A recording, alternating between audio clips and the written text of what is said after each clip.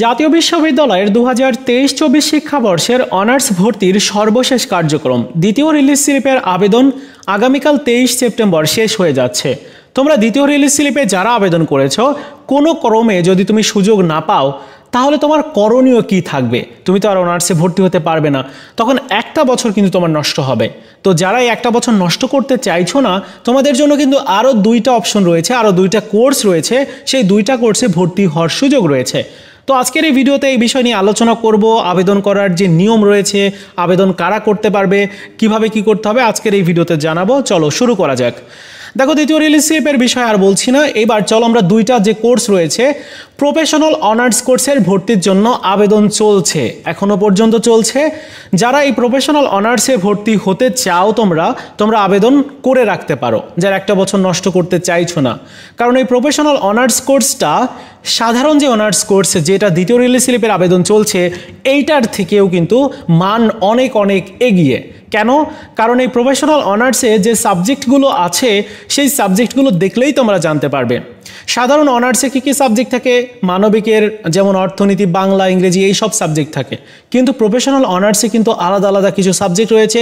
অন্যান্য ভালো ভালো পাবলিক ইউনিভার্সিটিতে যে সাবজেক্টগুলো পড়ানো হয়, যেমন আমরা যদি সাবজেক্টগুলো দেখি ব্যাচেলার অফ বিজনেস অ্যাডমিনিস্ট্রেশন অর্থাৎ বিবিএ তারপর রয়েছে bachelor of education B Ed apparel manufacture and technology AMT fashion design technology network manufacture and technology computer science and engineering তারপর হচ্ছে electronics and communication engineering BSc honours in textile science and technology, তারপর bachelor of fine arts, tourism and hospitality management theatre and media studies BBA in aviation management এবং BSc in aeronautical and aviation science engineering.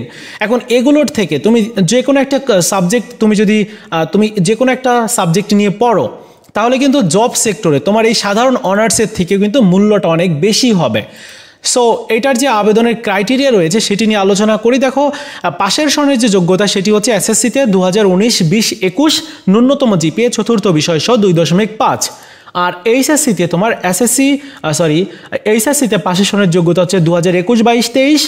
R GPA লাগবে দুই দশমিক পাঁচ। মোটামুটি এরকমটা থাকলে তুমি আবেদন করতে পারবে। এখন এই যে প্রফেশনাল অনার্স এগুলো কিন্তু নির্ধারিত কিছু নির্দিষ্ট কলেজে করানো হয়। তো এই কোর্সটার খরচটা কিন্তু একটু বেশি হয়। সাধারণ অনার্সে যেমন তোমার সরকারি কলেজে পঞ্চাশ, ষাট হাজার টাকা বা আশি হাজার টাকা পর্যন্ত খরচ হয় চার বছরে। এই প্রফেশনালে কিন্তু এর থেকে অনেক অনেক বেশি খরচ হয়, প্রায় তিন গুণ খরচ বেশি হয়। অর্থাৎ দেড় থেকে দুই লাখ বা আড়াই থেকে তিন লাখ টাকা এরকম খরচ হয় বিভিন্ন কলেজে, বিভিন্ন রকম। ঢাকার কিছু কলেজ রয়েছে যেগুলোতে খরচটা বেশি, যেমন বেতন বেশি, তার প্রত্যেকটা বিষয়ে বেশি। সো এটা তোমার কলেজ ভেদে আর কি। কলেজ সম্পর্কে আগে জেনে তারপর তুমি আবেদন করো। তো আবেদন করার ডেট সম্পর্কে একটু জানি। আবেদন করার জন্য কিন্তু সময়টা বাড়িয়েছিল।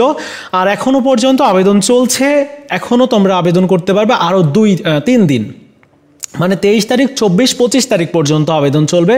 রাত বারোটা পর্যন্ত আবেদন ফিজ হচ্ছে তিনশো পঞ্চাশ টাকা। যারা মনে করছ যে এই কোর্সটা করবে বা তোমার যদি আর্থিক অবস্থা একটু ভালো থাকে, তাহলে তোমরা এই কোর্সটা করতে পারো। এই কোর্সটা কিন্তু অন্য জাতীয় বিশ্ববিদ্যালয়ের কোর্স থেকে অনেক অনেক মানের দিক থেকে এগিয়ে। আর এই কোর্সটা কমপ্লিট করার পর তুমি জব সেক্টরে ভালো জব ডিমান্ড তোমার পাবে তুমি।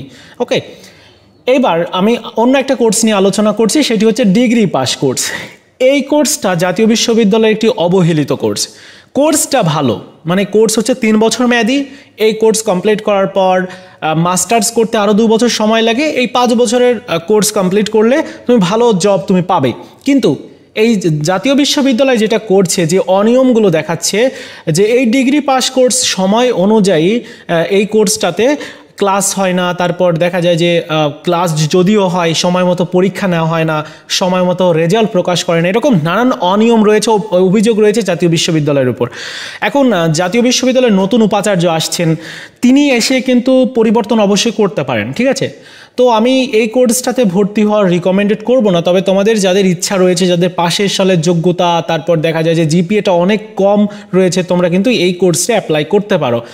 আর এখন হয়তো কোর্সের ঠিক সময় পরীক্ষা বা সব কিছুই নেওয়া হবে কারণ শিক্ষার্থীরা আন্দোলন করছে। প্রত্যেকটা অন্যায়, অবিচারের বিরুদ্ধে শিক্ষার্থীরা সোচ্চার হচ্ছে। বৈষম্য দূর করার জন্য যা যা করা প্রয়োজন আন্দোলনের মাধ্যমে সেগুলো করার তাগিদ এখন জাতীয় বিশ্ববিদ্যালয়ের শিক্ষার্থীরাই অলরেডি নিয়েছে, বিশেষ করে ডিগ্রি শিক্ষার্থীরা। সো তোমাদের কিন্তু সমস্যা হবে না, এই কোর্সটা তোমার জন্য হতে পারে বা তুমি এই কোর্সে ভর্তি হয়ে থাকলে এবছর আগামী বছর আবার অনার্সে ট্রাই করলে যদি ভালো একটা সাবজেক্টে সুযোগ পেয়ে যাও কথা। আর্ট প্রফেশনালে ভর্তি হতে পারলে তো সব থেকে বেশি ভালো হয়। তবে তো অনেকের টাকা পয়সার একটা সমস্যা থাকে সো অনেকেই পারে না ভর্তি হতে। তো মোটামুটি এটাই হচ্ছে। তো ডিগ্রি পাস কোর্সের ভর্তির আবেদন চলবে কত তারিখ পর্যন্ত সেটি একটু বলে দিই। ছাব্বিশ সেপ্টেম্বর পর্যন্ত চলবে। ছাব্বিশ সেপ্টেম্বর রাত বারোটা পর্যন্ত। তাই এই কোর্সেও তুমি অ্যাপ্লাই করে রাখতে পারো। আবেদন ফিস হচ্ছে তিনশো টাকা। তোমাকে যে কলেজে অ্যাপ্লাই করবে, ওই কলেজে গিয়ে তোমাকে জমা দিতে হবে অথবা মোবাইল ব্যাঙ্কিংয়ের মাধ্যমে তুমি জমা দিতে পারবে। এরপর আবেদন করার পর দেখে নেবে যে তোমার আবেদন ঠিকঠাক হয়েছে কিনা।